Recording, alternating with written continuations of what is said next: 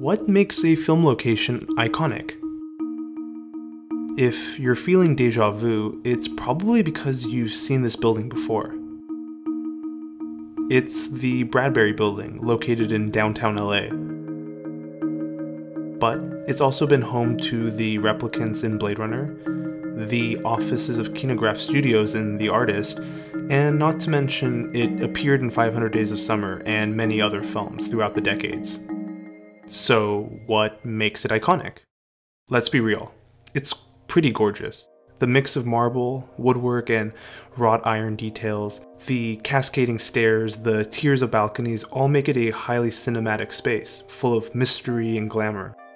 It also feels elegant and simple, old fashioned and industrial.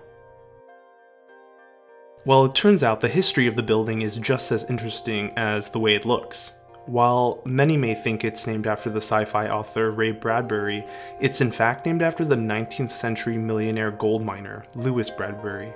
He originally hired the architect Sumner Hunt to build a spectacular office building bearing his name, but when he was unhappy with Hunt's vision, he ended up offering the job to a young draftsman in the same office, George Wyman, who had no formal architecture training at all. Weirdly enough, Wyman only accepted Bradbury's generous proposition once he consulted the ghost of his dead brother in a seance.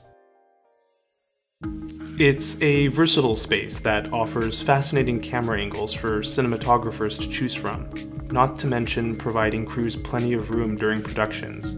And even as recent redevelopment in downtown LA has made film production more difficult and costly to achieve, the Bradbury Building continues to fascinate and draw young filmmakers.